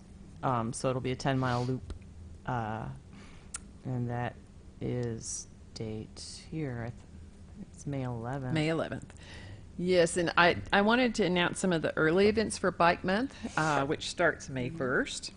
So, Bike to Work Day is uh, May 2nd. You can register online, Google uh, CU Bike Month, and you can register. You will get a t shirt. Uh, this year, the uh, the art on our T-shirt is uh, to highlight uh, the contributions of, of minority cyclists. So we have two of the famous historic uh, black cyclists, uh, Kitty Knox and Major Taylor, are on our shirts this year. We will have rides throughout the month. There is a lot of exciting activity. Bike to School Day will be May 10th. Uh, as Annie said, the Lunar Cycle Ride is the 11th. We have um, a Mother's Day ride that will be on uh, the 14th. That will include a stop at the Mother's Day picnic um at uh, Riggs out on the patio. And so all of these things can be found. Uh, there's Bike to Market, there's a CU food cruise on the 20th, there's a Traffic Skills 101 class on the 27th.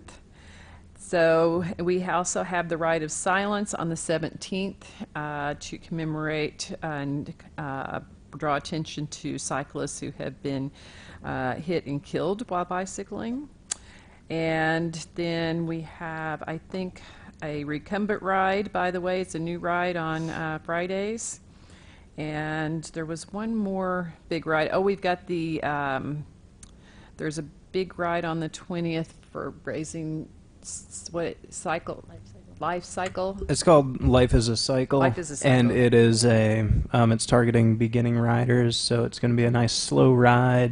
Um, we're going down, uh, starting at the market and heading down to and through Meadowbrook, out uh, through Stone Creek, and back up through neighborhoods and such to the market.